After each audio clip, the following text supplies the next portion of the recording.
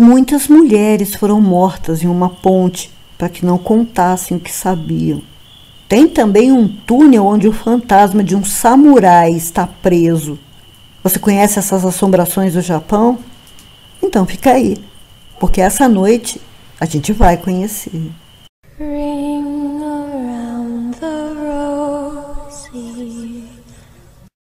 Boa noite. Eu sou a doutora Plague, abrindo as portas do sanatório para trazer histórias de assombrações no Japão. Um lugar com tantas guerras, com tantos suicídios e crimes, não escaparia, né, de ser muito assombrado.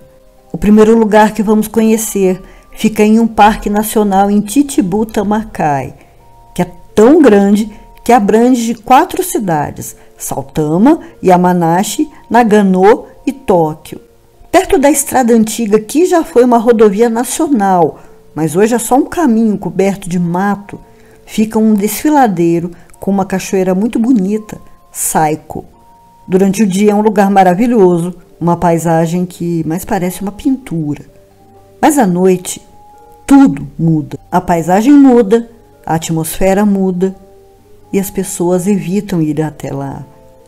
E não é à toa, já que os fantasmas de 55 mulheres se manifestam chorando, gritando e implorando por clemência e piedade. Essa história vem de tempos antigos, mas os moradores dizem que ficou gravada naquelas terras e continua se repetindo. Além da energia residual, que é o passado que ficou gravado e se reverbera manifestando, há também as assombrações inteligentes, que são fantasmas e espíritos. E como eu disse, é uma história antiga. O clã Takeda foi o mais rico da província de Kai e, para financiar seus exércitos, começou a minerar ouro no Monte Kurokawa. A mina era de propriedade do clã e, obviamente, somente eles poderiam extrair o ouro de lá.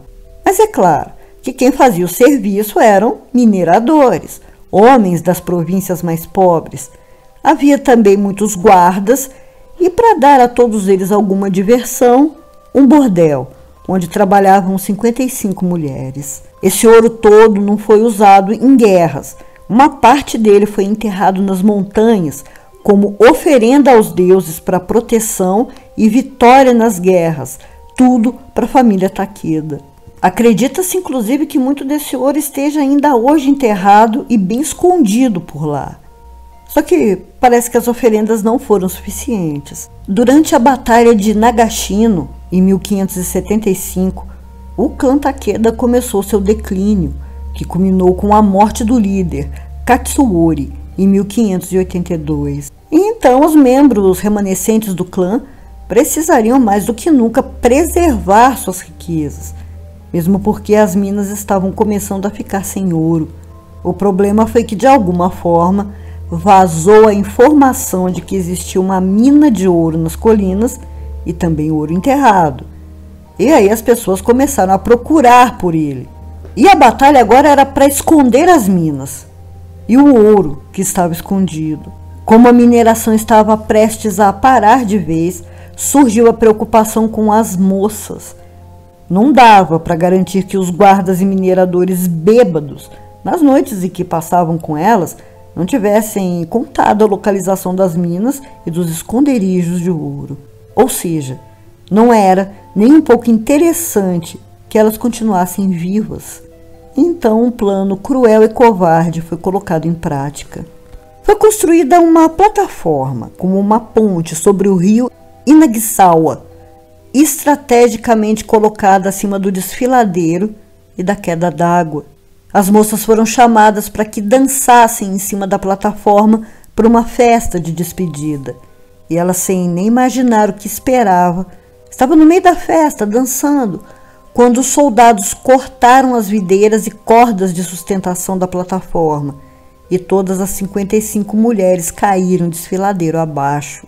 Era muito alto e as que não morreram na queda morreram arrastadas pela cachoeira. Seus corpos foram encontrados pelos aldeões de Tabayama, foram pescados e enterrados dignamente. Eles também construíram um memorial em homenagem a elas, para que suas almas descansassem, mas não descansaram.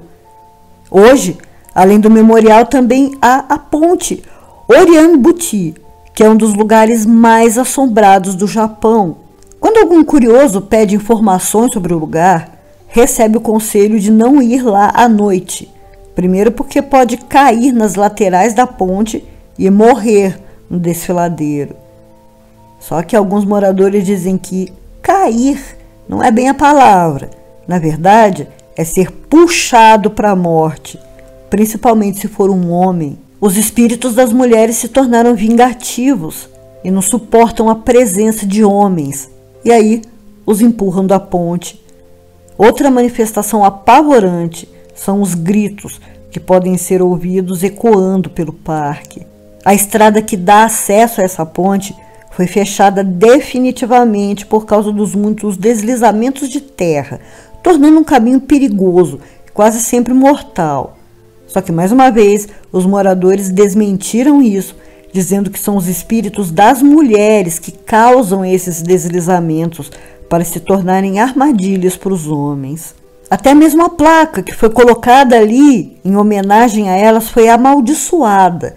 E segundo se sabe, quem ler tudo que está escrito estará puxando para si a maldição. Mas só se for um homem. Apesar das dificuldades para chegarem até lá, dois investigadores sobrenaturais foram até a ponte e captaram vozes e gritos das mulheres.